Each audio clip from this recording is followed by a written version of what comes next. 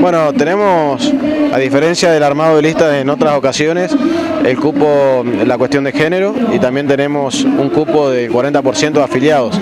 Entonces se nos hacía por ahí un poco difícil la situación a la hora de poder cerrar eh, las listas, pero Menén es un amigo personal, es una persona que es parte de este proyecto y que seguramente va a tener una representación muy importante en el esquema del próximo gobierno, representando especialmente la zona cordillerana. De hecho, lo, afirmó a través de las redes, ¿no? que iba a seguir eh, firme este, para combatir el, gobierno de Cambiemos, de hecho, a nivel nacional también. Bueno, creo que son las cosas que hay que resaltar.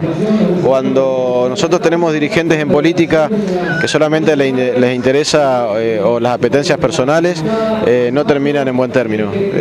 mi figura también fue una de las que más sonaba para poder ser candidato, precandidato a gobernador. Entendí que no era el momento por la situación que le tocaba atravesar a, la provincia, especialmente en lo político, no podíamos sumarle un inconveniente más o una interna más. Y a veces tenemos que saber ceder en pos del bienestar de, eh, de la gente, ¿no? No, puede quedar solamente el político en un discurso bonito o que endulza los oídos de la gente cuando tenemos una campaña o un proceso electoral diciendo que quieren lo mejor para la gente. Cuando se quiere lo mejor para la gente, a veces hay que saber entender de que por sobre los intereses personales están los proyectos y los intereses colectivos y realmente lo de Menem es un caso puntual de lo que ha sucedido.